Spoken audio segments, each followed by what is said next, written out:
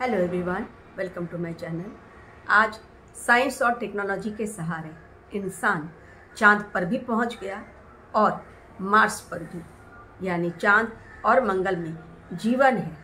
वहाँ पर भी कोई रह सकता है। जीवन का प्रमाण आज साइंस ने खोज लिया। और साइंस दिनों दिन तरक्की करता जा रहा है। भले उसके एडवांटेजेस के साथ डिसएडवांटेजेस भी लोगों के सम्मुख आ रहे हैं। लेकिन साइंस है जो निरंतर आगे बढ़ता चला जा रहा है। अब उसकी खोज, ईश्वर कहाँ है? इस बात पर है। कई वैज्ञानिकों ने माना नहीं है इस बात को कि ईश्वर का अस्तित्व भी है। न्यूटन नहीं मानते थे, एडिसन नहीं मानते थे कि ईश्वर का अस्तित्व भी है। और उसी प्रकार इनकी ही तरह कई ऐसे और वैज्ञानिक भी हैं स्टीफन हॉकिंग जिनका नाम है, वो भी ईश्वर के अस्तित्व को सिरे से नकारते थे। यानी उन्हें पता नहीं रहता है वैज्ञानिकों को कि हाँ ईश्वर ना कहाँ रहते हैं। लेकिन वो सिरे से इस बात को नकार देते हैं, कारण उनके पास कोई प्रूफ नहीं है। और साइंस प्रूफ की बात करता है। यानी उसका कहना है वैज्ञानिकों का कि यदि कोई चीज़ इस दुनिया में है तो वो हमें दिखलाई पड़नी चाहिए और वो कहाँ है, उसका पता हमें लगना चाहिए। जब तक हमें ये पता नहीं कि ईश्वर कहाँ है, इस ब्रह्मांड का रचयिता कौन है तो कैसे हम मान लें कि भगवान है? क्योंकि कंप्यूटर किसने बनाया? मोबाइल किसने बनाया? बर्तन को, बर्तनों का आविष्कार कैसे हुआ? आग का आविष्कार कैसे हुआ? माचिस, यानी मैच बॉक्स किसने बनाया? रेलगाड़ी किसने बनाई? टीवी किसने बनाई सब चीज़ का प्रूफ है। तो जब साइंस के पास हर चीज़ का प्रूफ है तो वो ब्रह्मांड को भी इस बात का प्रूफ मानता है कि बिग बैंग थ्योरी के द्वारा इस ब्रह्मांड का जन्म हुआ है। बिग बैंग थ्योरी के ही द्वारा कि यानी एक शून्य से एक बिंदु से ब्लास्ट होने के कारण इस पूरे ब्रह्मांड का निर्माण हुआ। ये बात वो मानता है। लेकिन ईश्वर जैसी कोई चीज़ है, ईश्वर के ताकत के ऊपर वो हमेशा क्वेश्चन करता है। आज मेरा वीडियो सिर्फ़ विज्ञान के ऊपर नहीं, बल्कि मैं प्रूफ के साथ विज्ञान से ही एक क्वेश्चन करूँगी और साइंटिस्ट के साथ और साइंस के स्टूडेंट्स के साथ कि अगर ईश्वर का कोई अस्तित्व नहीं है तो कृपया ये बताइए कि उस पूरे ब्रह्मांड का रचयिता फिर कौन हुआ? कैसे ये शून्य से ये ब्रह्मांड का फैलाव धीरे धीरे स्टार्ट हुआ और अब वैज्ञानिक कह रहे हैं कि ये ब्रह्मांड और भी धीरे आगे बढ़ता चला जा रहा है। तो साइंस के स्टूडेंट्स जो होंगे, वो यही कहेंगे कि बिग बैंग की थ्योरी जो है, इसमें काम आती है। यानी एक से अनेक होता ये चला जा रहा है और ये आगे होता चला जाएगा। इसमें भगवान का क्या रोल अब मेरा फ़र्स्ट पॉइंट और फ़र्स्ट रीज़न मैं आपको देती हूँ। इंसान ने भगवान की नकल करते हुए, कि भगवान को चैलेंज देते हुए, भगवान की नकल करते हुए साइंटिस्ट ने क्लोन तैयार किया। आप लोगों में से कईयों को पता होगा। एक मैमल शिप को तैयार किया गया, उसकी माँ के जैसा, जिसका नाम रखा गया डॉली। 1996 फिफ्थ जुलाई 1996 को साइंटिस्ट के कोशिशों के बावजूद ये क्लोन तैयार किया गया और उससे बच्चे भी हुए। लेकिन सात वर्ष की आयु में ही वो मैमल शीप डॉली जिसे क्लोन जिसका क्लोन तैयार किया गया, जो क्लोन के रूप में हम सबके सामने आई, उसका निधन हो गया। कारण उसके फेफड़े खराब हो गए थे। तो साइंस ने भगवान को चैलेंज किया। क्लोन बनाकर कि यदि भगवान बना सकते हैं इंसान तो हम भी हु बहू क्लोन बनाकर तैयार कर सकते हैं और इन फ्यूचर एक इंसान अगर मर गया तो उसके सेल्स के द्वारा या किसी और डोनर के सेल्स के द्वारा हम हु बहू वैसा ही इंसान तैयार कर लेंगे, जो कई वर्षों तक ज़िंदा रहेगा और उसी की तरह काम करेगा। तो क्या साइंस सक्सेसफुल हुआ? नहीं हुआ। यानी क्लोन की थ्योरी उनकी पूरी तरह से अनसक्सेसफुल हो गई। फ़र्स्ट सेकेंड पॉइंट क्यों साइंस आज ये पता नहीं लगा पाया है कि एक इंसान की मृत्यु कब होनी है?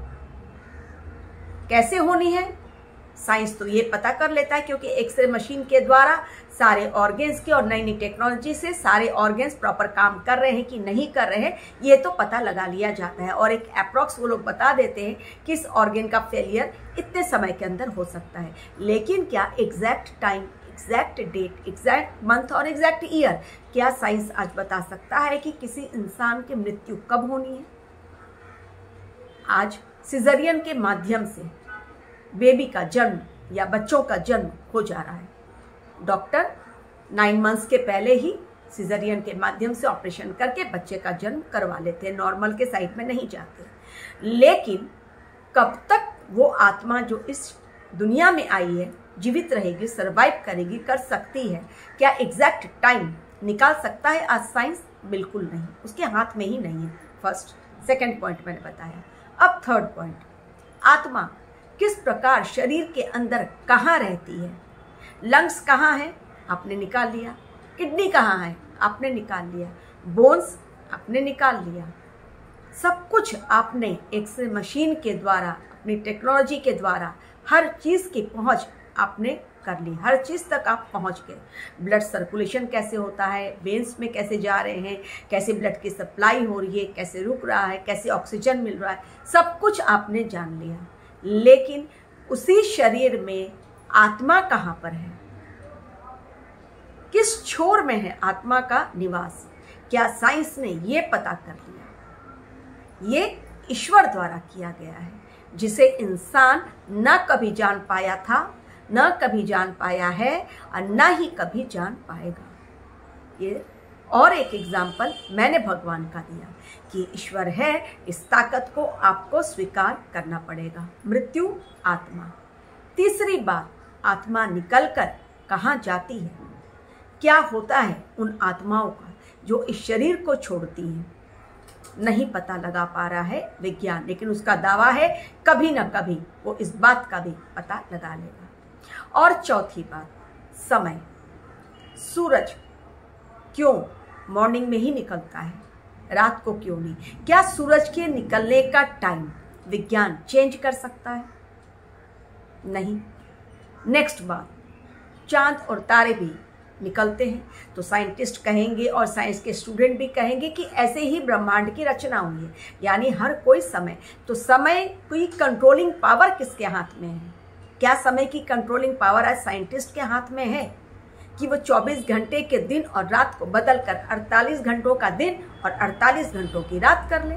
जब साइंस हर कुछ कर, सब कुछ कर पा रहा है तो ये भी कर ले। क्यों एक मरीज़ के मृत्यु के समय डॉक्टर भी हाथ खड़े करते हैं और कहते हैं कि अब जो करेगा, ईश्वर करेगा, हमने अपनी तरफ़ से सब कुछ कर दिया। यानी कहीं ना कहीं इंसान को मजबूर होना पड़ता है, लेकिन वो अपने तर्क के सहारे, अपने ईगो को आगे लाने के लिए ईश्वर के अस्तित्व को सिरे से न करता है। क्या इंसान टाइम ट्रेवल करके पास्ट की चीज़ों पर कंट्रोल कर सका है? एस्ट्रोलॉजर एक समय तक आपको बता सकते हैं कि ऐसा होने वाला है और ऐसा होगा। लेकिन क्या फ्यूचर इंसिडेंट्स एस्ट्रोलॉजर्स अपनी एस्ट्रोलॉजी के माध्यम से बदल देते हैं? न वो पास्ट बदल सकते थे, न वो फ्यूचर बदल सकते हैं। अगर इंसान के हाथ में भी इस समय का कंट्रोल आ गया तो इंसान आज क्या करेगा? सिर्फ़ अमीरों का राज्य ही इस दुनिया में होगा। यानी वो अपने परिवार को मृत्यु तक जाने ही नहीं देंगे। तो फिर सिर्फ़ गरीबों की मौत होगी और अमीरों की नहीं। भगवान ने सिर्फ़ ज़मीन, आकाश, जल अमीरों को नहीं दिया, बल्कि सभी को दिया। अगर इंसान का कंट्रोल इस पर भी हो जाए, विज्ञान का कंट्रोल इस पर भी हो जाए तो कुछ सीमित मात्रा में ये सब चीज़ें कुछ लिमिटेड लोगों तक ही पहुँच कर रह जाएँगी। क्योंकि ये चीज़ें ईश्वर के हाथ में हैं, इसलिए सबको मिल रही है। खुली हवा, पानी और इंसान को ज़िंदा रहने के लिए समय और रोशनी, सूर्य की रोशनी। ये सारी चीज़ें ईश्वर की देन है, जो समान रूप से सभी के लिए हैं। इन्हें मनुष्य खरीद कर अपनी तिजोरी में, अपने घरों में कैद नहीं कर पाता है। ये ईश्वर का होने का सबसे बड़ा प्रमाण है। तो ईश्वर है कहीं ना कहीं इस पूरे ब्रह्मांड को चलाने वाला। विज्ञान चाहे जितनी तरक्की कर ले, ईश्वर तक नहीं पहुँच सकता। आप जान सकते हैं ईश्वर को। बुद्धि के तर्क पर नहीं, तर्क के तर्क पर नहीं, सिर्फ़ मन की आँखों के द्वारा। आपके पास वो ज्ञान का प्रकाश होना चाहिए, आत्मा का प्रकाश आपके पास होना चाहिए, तभी आप उस ईश्वर को जान पाएँगे। भले वो कहीं आपको दिखलाई नहीं पड़ रहा है, लेकिन पूरे ब्रह्मांड को वही चला रहा है। ऐसा मेरा मानना है और ऐसा एक दिन विज्ञान भी मान लेगा। Thank you very much for watching my